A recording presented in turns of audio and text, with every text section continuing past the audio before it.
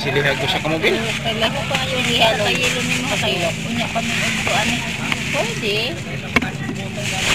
Pwede po may mga yugil.